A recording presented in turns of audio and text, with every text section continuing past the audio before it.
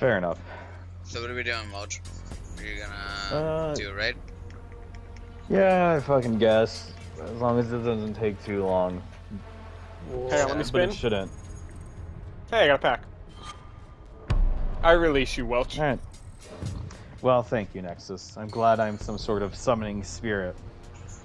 Yes. You are my I like bitch. to imagine.